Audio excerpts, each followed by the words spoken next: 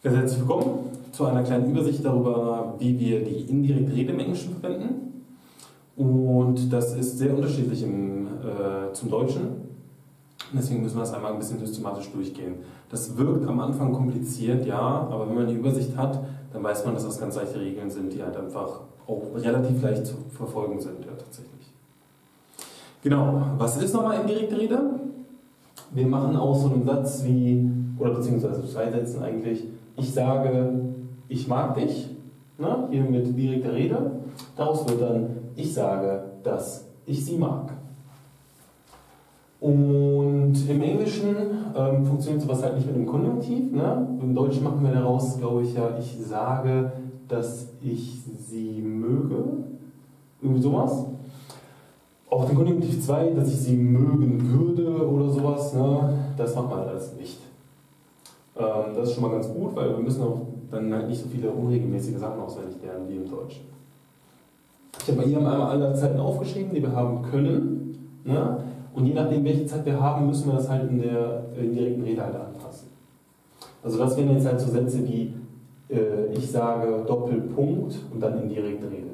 I like you, I have liked you, I liked you, I had liked you, I will like you und so weiter. Ne? Das sind jetzt alles halt Beispiele für direkte Rede.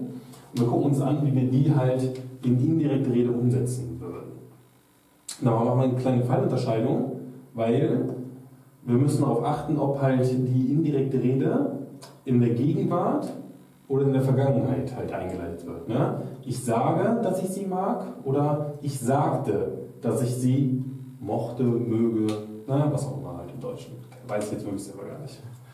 Aber im Englischen ist es wirklich halt ganz ähm, angenehm, weil wenn wir jetzt zum Beispiel die Gegenwart haben, dann bleibt alles gleich. Ne? Wenn jetzt zum Beispiel halt der Satz ist, I say, Doppelpunkt, I had liked you, dann wird daraus einfach, I say that I had liked her. Na klar, wir müssen das mit dem you und dem her anpassen, aber die Zeit bleibt komplett gleich. Und das ist für alle diese Zeiten gegeben, solange halt das say oder says davor steht.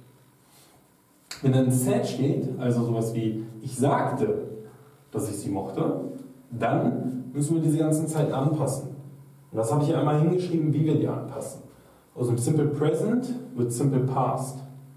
Aus all diesen drei Zeiten, die in der Vergangenheit sind und ganz normal gebildet werden, also Present Perfect, Simple Past und Past Perfect, die stehen alle im Past Perfect.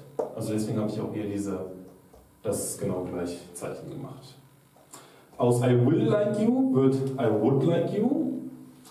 Aus I am liking you wird I was liking you. Und aus diesen Zeiten hier, also diese Progressive Zeiten halt auch wieder im Perfect, Past und Past Perfect, die werden alle zu Past Perfect Progressive. Ne? Also wir merken schon, dass bei diesen drei Zeiten das, das gleich funktioniert. Aus Simple Present, ob es halt Progressive ist oder nicht, wird auf jeden Fall Simple Past. Und aus Will wird Would. Also es wirkt am Anfang halt, als wären das relativ viele Sachen, aber vor allen Dingen dadurch, dass das hier komplett gleich bleibt, ist das eigentlich überschaubar. Denkt euch da rein, guckt euch die Tabellen halt nochmal an, ne?